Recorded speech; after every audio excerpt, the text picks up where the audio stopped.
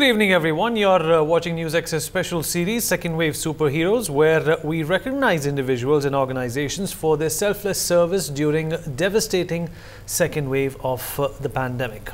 Our first guest, uh, Geeta Priya is a social activist and writer, followed by student and activist Anis Sara, and last but not the least, Dr. Garima Pathania, co-founder of Your Wellness Crafters. Listen in.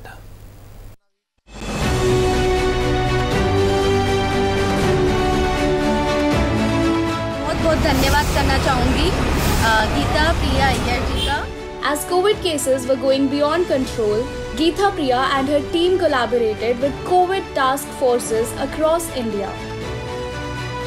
They gathered information on availability of beds, oxygen cylinders, and medicines. They ferried patients to hospitals, got their tests done, and even helped with cremations. NewsX proudly recognizes second wave superhero Geetha Priya Iyer. Hello and welcome. You're watching NewsX Second Wave Superheroes. I am Ojasvi Chauhan and today I'm joined with Geeta Priya Iyer, who's a volunteer and she did COVID relief work during the second wave of coronavirus. Welcome to the show, Geeta Priya. Hi, thank you, Ojasvi. Uh, please start by telling our viewers that how exactly were you able to help people? Okay, um, before I begin, I would like to thank few people. But first of all, I would like to thank uh, NewsX for having me here and giving me a chance to speak upon uh, this. Second is my team. I extend my gratitude to my team, which consists of uh, uh, Siddhant, uh, Swati, Rajat, Sharti, and the list is endless. So let me stick to this. Uh, and also, uh, my uh, thank you to my husband and children who were supportive during my uh, during this, uh, you know, uh, COVID relief support that I was extending to people. So your question was about how did I start? Am I right? Yes. Well, uh, it's I, uh, I saw the apathy. Like you know, uh, there was a lot of people who were getting infected, and there was shortage of beds uh, and oxygen and all that. People were trying to reach out to resources, and they were not able to find resources. So I just thought, you know, what can I do for them, being an individual? So I just announced, uh, I just formed a small WhatsApp group of my friends and, uh, you know, connections. And I said, uh, this is what is the need of the hour. And we can uh, uh, take uh, take care of our business later, but let's, you know, get into this right away. So that's how it started. You know, we started providing contacts and resources for beds, oxygen, and plasma and all that. Okay. So uh, also, I would like to ask you: Were there any incidents, uh, any emotional incidents that moved you because you were in direct contact with some patients and their families? I'm assuming. cases that came to me were uh, personal you know it felt like it's a personal case it's some Yeah. my own case however uh, there was one uh, daughter she was looking out for an icu bed for her father who was 70 uh, plus. And uh, and she sent me uh, that he's so helpless his oxygen levels are dropping down and uh, she sent me his pictures.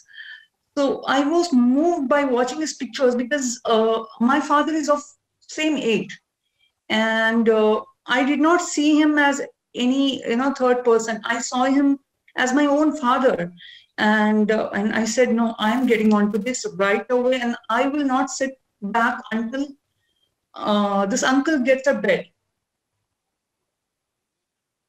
So you know it it, it felt as if I am his own uh, daughter and uh, and I stopped only when once the bed was confirmed and they reached the hospital. That's that's really some great work. Uh, I would also like you to answer that, in your opinion, uh, what could have authorities done better, or what could we as individuals have done better during this second wave? first of all, I think uh, we missed on uh, second wave coming in.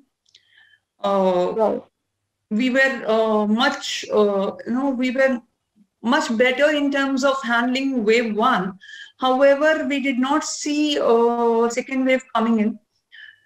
So there was this apathy of, you know, I feel uh, we should have been prepared with uh, health infrastructure, uh, the oxygen, plasma, blood, and everything. We should have been, you know, uh, should have been leveled up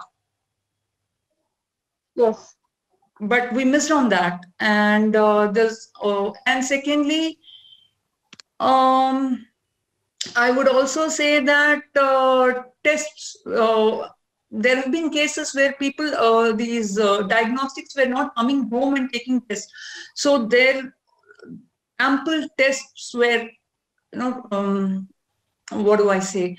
Uh, ample diagnostic centers were also needed along with the health Right. infra, uh, the hospitals beds and and i also feel that a government uh, could have converted these government hospitals and schools into covid infrastructure for the time being uh, until we handle these uh, you know this crisis so that is Right. one part which um, which went you know which was completely mismanaged by authorities and secondly i also hold uh, everyone uh, we citizens as uh, you know as responsible. When there is a protocol that has to be maintained during covid crisis we certainly have to maintain. We cannot be you know lose on those.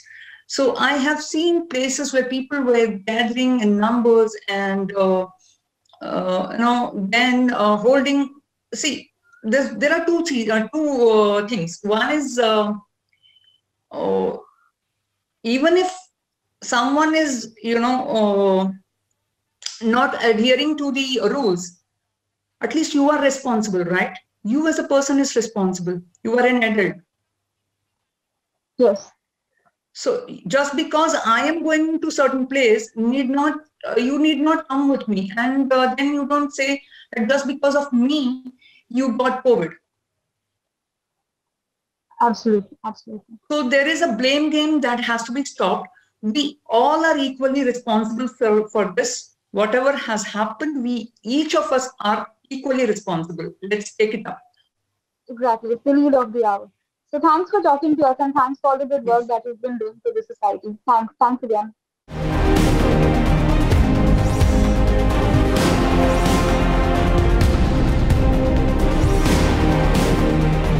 Anis Sara is a social activist and an economics student in Ethiraj College for Women. She ventured into activism in 2017 by visiting old age and kids' homes and provided provision items to them. As the pandemic hit India in 2020, she, along with other volunteers, gave about 2,000 kgs of rice to people in need. She volunteered to find leads for beds, food, oxygen suppliers, and more. Anis is also helping people who lost their jobs during this period by providing relevant leads. NewsX proudly recognizes second wave superhero Anis Sara. Hello and welcome to our special show, Second Wave Superheroes. I'm Priyanka Sharma and joining me today on the broadcast is Anis Sara. Anis, welcome to the show. Thank you so much. Tell us how you help people amid the second wave. Uh, is nice question actually. Uh, we are a bunch of group people, volunteers there, and uh, we are working for uh, uh, regarding a COVID people who need a bed, who need a food, who need oxygen, all that. So almost uh, we are a lot and lot of volunteers from other districts. So, so we are the bunch of volunteers, and uh, this is the way we are going to help the peoples in this second uh, COVID war wave. Yeah. What motivated you to take up this responsibility? what motivate appreciation from the other people is motivated me for because if help one person they are giving appreciation applause to us so that's my medicine to motivate this thing to more in the future and their applause is motivates me to do more in the future so that's the thing Were there any incidents while helping people that moved you emotionally?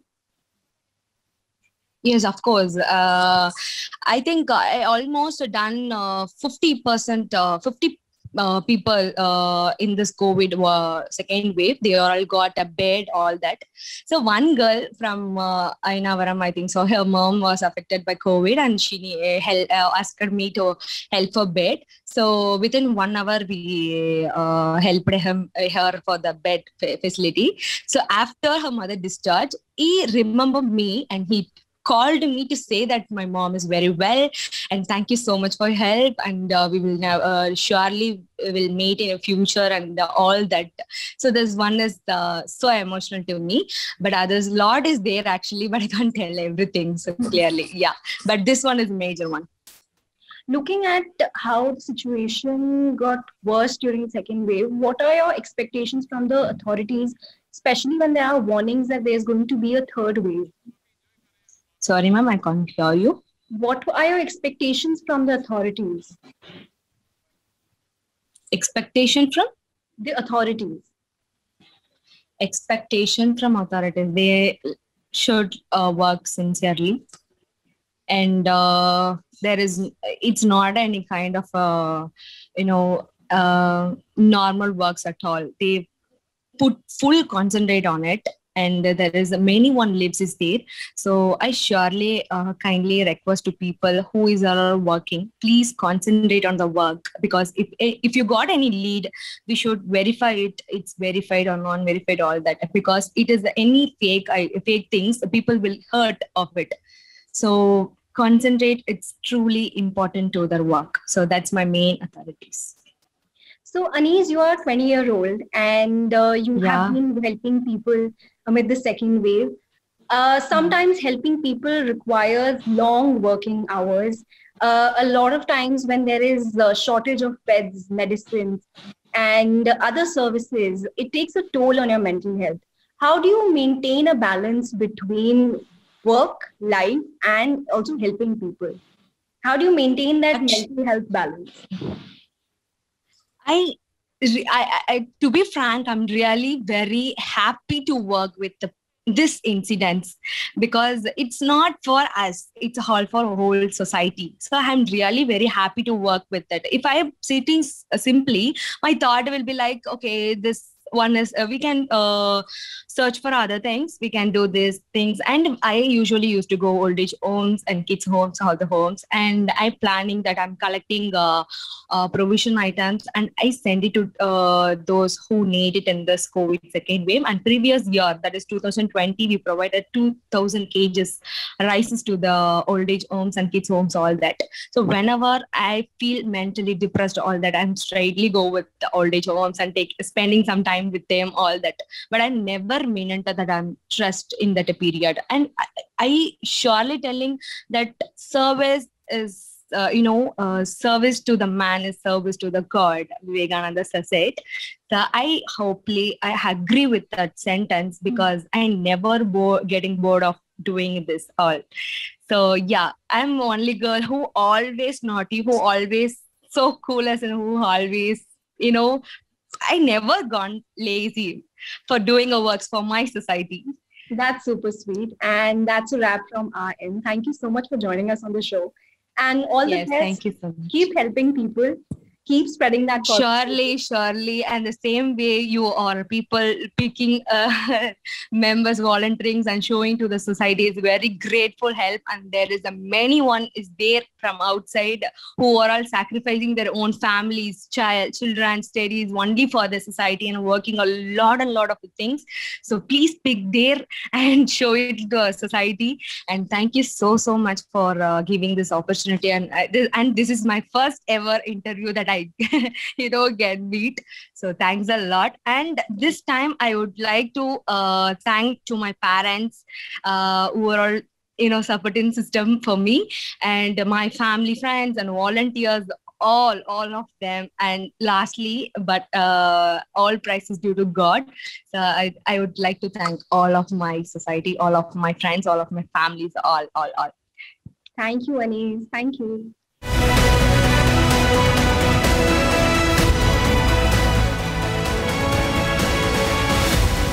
Earlier this year, we witnessed the most unfathomable, horrifying period that brought down the entire humanity to their knees. The second wave of COVID spared very little the sanity of healthcare workers. Despite working at the hospital for maddening hours, Dr. Garima felt that there were salvageable lives ending due to lack of oxygen unavailability of beds and drugs. So she volunteered for free teleconsults, receiving a zillion calls a day for beds, drugs, and oxygen. They would call up hospitals and ask for bed availability, sometimes create beds at their own parent institutes for salvageable patients. NewsX proudly recognizes second wave superhero Dr. Garima Pathania. Hello and welcome. You're watching NewsX and I am Fiza Jain. Today on the second wave superheroes, we have with us Dr. Garima Pathania, who is a co-founder of Your Wellness Crafters and was also an earlier resident pediatrician at Safdarjung Hospital. She has been helping with SOS calls for hospital beds in Delhi and NCR, and she also ran a mental health session and online sessions. Uh, hello, ma'am, and welcome to you on the show. Um, ma'am, my uh, first question to you is what really led to you, like, how, what motivated you to help people during these COVID times with the beds and everything? Well, hi, Fiza. Firstly, thank you for having me. Uh, I think as a doctor, this pandemic has uh, gotten a lot of helplessness for all of us. So, no matter how much work you're doing within the premise of the hospital, you always come back home and are bombarded with like a zillion calls about people not getting beds and oxygen and just basic facilities that could actually save lives. So, I think just not just the feeling that, you know, we're not doing enough probably led a lot of doctors to also um, entertain these calls and try and just run helter skelter and arrange for resources in whatever way possible. So I think it's not just me, but a lot of doctors and I think people from across uh, professions have come together uh, in the pandemic just because of this crunch of resources, right? So, ma'am, how has your journey been helping people getting their beds and like answering all the SOS calls? How has it been? How has it affected you, people around you? Or probably your mental health? Right. So, uh, Fiza, a lot of uh, times uh, we were able to provide help to people, and uh, it, has been uh, so overwhelming as an experience that sometimes you know you've just arranged a bed or you've just arranged something for a patient, and within two to three hours you're getting a text that you know the patient is no more. So I, I think uh, just the magnitude of what is happening, I think none of us had anticipated it and uh, it has led to uh, quite a bit of a deterioration in our mental health as well. I do have these uh, random breakdowns here and there because of this sheer helplessness that we have felt. Uh, so uh, yes i think uh, the most of the experience i would say 80% of the experience has been very very good right? You know we've it, it's been very satisfying to being uh, you know to have been able to help somebody outside of my profession and probably you know uh, in an administrative or whatever way. But uh, these uh, even even like one a phone call uh, uh, and you know informing you of a death or demise of somebody who you think could have been saved is is like a punch in the gut. So i think um, that way the mental health of a lot of healthcare workers has gotten affected really badly yeah like all like i have heard that a lot of doctors have had these emotional breakdowns and all of these things have been really crazy for them. How have you been like how have you been reaching out to people? Like how do you get to know about these sos do people contact you directly? Do you get to know through the social media handles and all these things Right. So, uh, you know, uh, we have been running a couple of uh, volunteer groups, um, whether it is with the local NGOs or, you know, just, just kind of distributing your numbers for SOS basis. So most of these calls are random. Some of these calls are through social media. Some of these calls are through the NGO. Uh, so uh, I think uh, it's been a multi multi-dimensional sort of a route, right? People have been approaching here from everywhere. But um, uh, as I was telling you, you know, the mental health of a lot of us has gotten affected so badly because of the sheer volume of uh, calls and these distress calls that you get. And uh, it's not always possible to help everybody right? So um, yes so yes so various media? Um, a lot of ngos uh, there is this ngo called every infant matters that is run by dr radhika batra and she's doing a phenomenal job she got a she got a couple of doctors on this platform on a common shared platform uh, to sort of try and help and mitigate resources and provide um, uh, sos uh, online consultations pro bono so is it like you've been trying to focus on people who are like not really digitally that active or who really are not there on any social media platform? How have you been helping them? Uh, well, Fiza, I think uh, just I think the kind of people that have reached out to us have been from all uh, sections of the society, right? There are serving soldiers who are not being able to admit their fathers.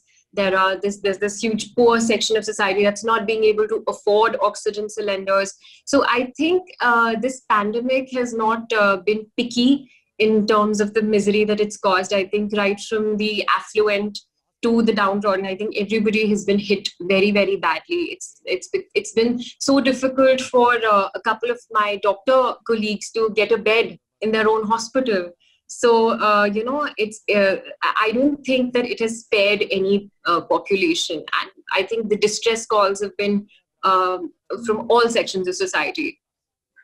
Indeed, like it's really has taken a toll on every person. And I feel that helping out each and every person in any single way really helps a lot. And whatever you've been doing is phenomenal and is amazing job. Because like getting a bed is was till now really a major task for people. People were really panicking on it. And indeed like helping people that way you have really done an amazing job and we really want to credit you and give you the right amount of uh, respect for that and thank you so much for joining us